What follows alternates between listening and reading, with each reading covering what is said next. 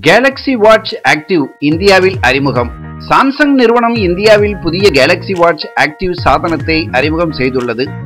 புதிய Galaxy watch active சாதனம் sports வடிவமைப்பில் மெல்லியதாகவும் எடை குறைவாகவும் இருக்கும். உடற்பயிற்சி உறக்கம் மன அழுத்தம் மற்றும் இரத்த அழுத்தம் போன்றவற்றை ட்ராக் செய்யும் திறன் கொண்டுள்ளது. இதன் மூலம் பயனர்கள் தங்களின் உடல்நலன் சார்ந்த விவரங்களை அடிக்கடி தெரிந்து கொண்டு உடலை கட்டுக்கோப்பாக வைத்துக் கொள்ள முடியும். மேம்பட்ட ஃபிட்னஸ் மற்றும் வெல்பீயிங் அம்சங்களுடன் கேலக்ஸி பாரம்பரியத்தில் புதிய வாட்ச் உருவாக்கப்பட்டிருப்பதாக சாம்சங் அறிவித்துள்ளது.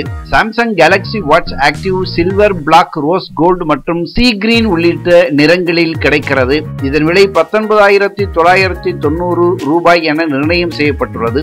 ஜூன் இருபத்தி ஐந்து முதல் இந்தியா முழுவதும் அனைத்து விற்பனை மையங்கள் சாம்சங் ஆன்லைன் தளம் மற்றும் சாம்சங் ஓப்ரா ஹவுஸ் உள்ளிட்டவற்றில் கிடைக்கும் எனவும் அறிவிக்கப்பட்டுள்ளது.